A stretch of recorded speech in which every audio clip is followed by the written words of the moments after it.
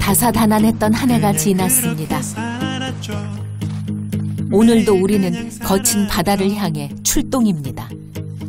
울산의 명물 해녀랍니다. 바다 용사들이지 이래 장비 다 차고 어 바다가 물건 켜는 용사들 아니나 당당한 바다 용사들 사이 해남 정우가 있습니다. 아, 원래 말썽생기 잠데 이제 물량이 좀 그렇고 이래가 2차 입찰 보고 잠자고 이제 전북 오늘 자십니다 갔다 올게 힘든 물질쯤이야 두렵지 않은 이제 겨우 열아홉입니다.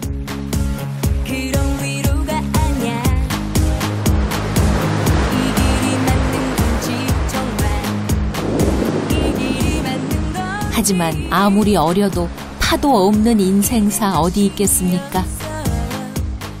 그래 나도 항상 바다 가서 안전하게 해주고 나 하는 일 다 잘 되게 해주시고 우리 가족 건강입니다 19살 정우는 소원 빌 게 참 많습니다.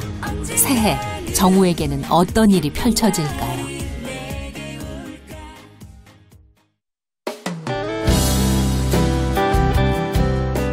아름다운 해안도로 따라 맑고 깊은 울산 바다가 펼쳐집니다. 검고 시린 물결 아래 바다의 보물이 가득한 곳. 겨울 파도 소리 따라 도착한 곳은 한적한 바닷가 마을입니다. 갔다 올게 할머니의 배웅을 받으며 출근합니다. 190cm가 다 되는 거구의 노란 머리. 이모 가자 빨리 어떡하자 했다 어떡하지 많이 간다 아직 안 가는겨 12시 신세대 해남 정우가 출근 전 꼭 들르는 곳이 있습니다. 우람한 몸매의 잠수복을 입으려면 이웃 해녀들의 도움이 꼭 필요합니다. 이래가 이래가 나가 물개들 안 건나. 물개들이 물개들 바다에 바다의 용사들 아닌 게 용사. 바다의 용사들이. 왜 바다 영사예요? 바다 용사들이지 이래 장비 다 차고. 어 바다가 물건 켜는 용사들 아니나. 바다와 한판 전투를 치르는 용사들답게 무기를 들고 나아갑니다. 이제 경력 5년째인 정우는 학교 가는 길보다 이 바닷길이 더 익숙합니다.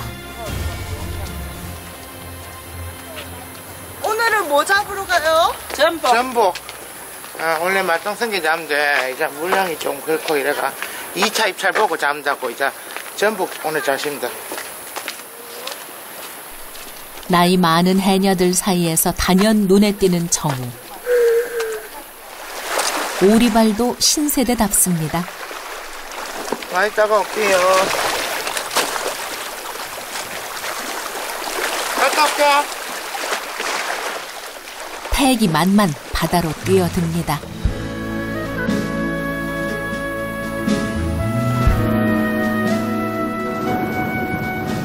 특별한 잠수 장비 없이 해산물을 캐는 물질은 숨의 길이와 탈취 본능을 균형 있게 조화시켜야만 할 수 있는 위험한 일입니다.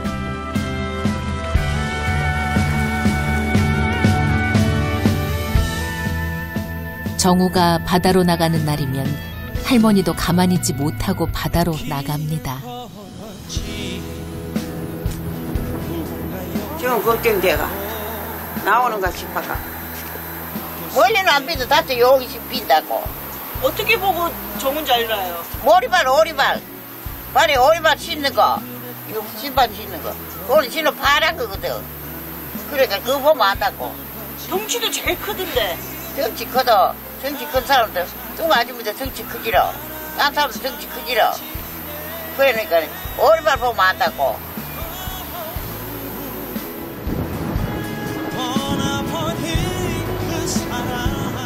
정우의 파란 오리발은 할머니의 안정제입니다.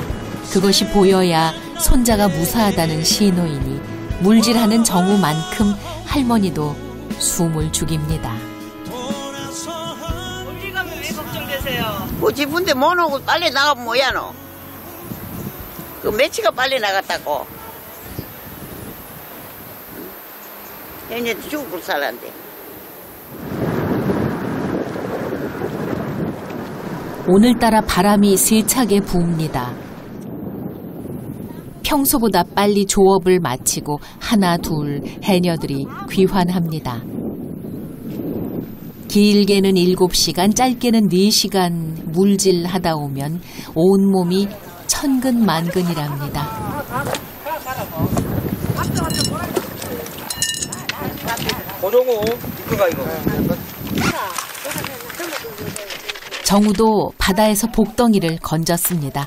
갓 잡은 해산물은 그 자리에서 상인에게 넘기는데 해녀들에게는 가장 떨리는 순간이 죠. 소미가 끊어 올라가 다시 내가 나오지. 3kg. 만족해 왔어요. 아이고 굴 따는 거 다 죽었다 잘못 따가. 고생한 만큼 보람이 없습니다. 말라고 나와 추운데. 이거 먹어. 이거 밑가리. 가자. 딱, 딱 가자. 엄청 많이 잡았네. 그래. 낚시도 시작하려고 두번 잡았다. 봐라. 상품 가치가 없는 해산물은 집에 가져옵니다. 정우가 물질해서 집안 생계를 꾸리는데 한 마리 한 마리가 아쉬울 뿐입니다. 주, 저, 주 안, 들어가다. 그에 넣어. 주고 빼지 뭐 큰 거. 뭐라고 해서 그래, 안 닫아. 아 굵은 거 몇 마리 땄는데 그게 사복 주가 뺐어요 전복이 잘못 따가 그거 했으면 한 4kg 됐을 건데 아쉬워요? 아쉽죠 그 어떻게 따는 전복인데 그게 제법 꿀래, 이거는. 숨 참고 따는 전복인데 양리하네. 물에 잡으라고 내려가는 게 힘들지. 내려갔다 올라올라 해봐라. 숨 쓰고 올라올라 해봐라. 얼마나 힘든 줄 알아. 난 아들도 물에 안 치니까 알았겠지만 저기 자꾸 한다 이거. 내가 하도 못, 못 해가. 내가 옛날에 못 먹고 살아가 물에 해가 먹고 살아가. 부모와 헤어진 두 살배기 손자를 키우려면 물질밖에 길이 없었답니다. 그렇게 열심히 잠수해 손자를 키웠지만 결국 정우도 물질을 피하진 못했답니다. 아가 정말만 좋았지. 아주 열아홉 살인데 이 뭐가 시근이 앉아 있겠노? 뭐가 올로? 나 손지 저 하나 보고 산다 내가. 얼른 안 죽고 얼른 죽어야 되는데 손지 내가 잘 되는 거 보고 죽을라고야. 정우는 할머니가 사는 이유입니다. 이것도 떼졌네 그래 나 몰랐디 다 째졌구나 이것도 째지고 새해 벽두부터 무언가 꼬입니다. 이것도 났고 3년 넘게 입은 잠수복이다 보니 여기저기 해지고 구멍까지 났습니다. 찌는 거는 그래 좋은데 빼는 거는 왜 그래 그래 본가 희한해 발 타고 있는 거예요? 예. 이 조문조가 참 희한하게 해놨네. 빼는 것도 쉽고 해놓으면 그래 좋은데, 찌는 거는 그래 쉬운데, 참 맛있는 거는 전부 살찌고, 맛없는 거는 진짜 몸에 좋은 거고 참 희한해. 아니 물질을 매일 그렇게 하는데도 왜 다이어트가 안 될까요? 물질은 또 이 운동이 아니고 노동이잖아요. 노동 쪽으로 이 몸이 놀리는 거하고 운동을 하는 게 이 몸이 다 알아요. 뭐야? 노래요? 공부 대신 노동을 할 수밖에 없는 형편이지만 꿈이 있습니다. 트로트 가수가 되는 게 꿈이라는 정우. 무지개가 아름다운 그리운 내 고향 서귀포를 나시나요 잘 부른 것 같지 않으세요? 내가 실 이렇게 잘 안 하, 내가 제대로 안 부르니 그렇죠. 아, 참 노래방 넘어가 노래방 가면 꼼뻑 넘어간다니까요. 그그 많고 많은 음악 장르 중에 왜 하필 트로트일까요? 젊은 노래 그 뭐 내용이 있어요. 그냥 유행 가지 그거는 뭐 유행이랬다는 거지. 그 그냥 그것만 막 풍풍풍풍 엠포만 막 팡팡팡팡 템포만 이래 하고 옛날 노래는요 국민 정서를 반영하고 있잖아요. 트로트는 게 뭐예요? 힘들 때 트로트 들으면 즐겁잖아요. 또 요래 가리고만 이래 만나면 60대라니까. 요래 가리고 있으면 물에 가면요 요래 잠수고 쓰면 내가 남자가 하는지 모르잖아. 이래 쓰고 있으면 전부 똑같거든요. 검은 머리에 전부 똑같아 빨간 눈에 이래 쓰고 있으면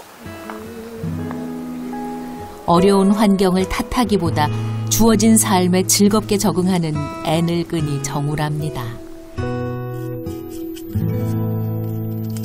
죽은 전복은 집에서 먹기로 했습니다. 마음에 안 돼도 기술이 그런데 어야노 기술이 그렇고 없는데 어야노 물에 전복이 눈에 안 비는데 기술이 그런 게 아니고 경력이 아직 얼마 안될때 연륜이 없다 이거는. 아주 걔네들 그 갔나 걔네들은 인류 잠수 많이 해먹었고 야는 처음 하리라 자책하는 손자를 위로하는 할머니. 미우나 고우나 둘 뿐이니 서로 의지하고 삽니다. 내 꿈이 뭐인 줄 알아요 원래? 요리, 요리사였어요 내 요리하는 걸 좋아해가 형편은 어려워도 꿈만은 부자랍니다. 귀한 것이 있으면 할머니부터 챙기는 열 아들 부럽자는 손자랍니다. 대견한 손자가 만든 전복죽은 어떤 맛일까요?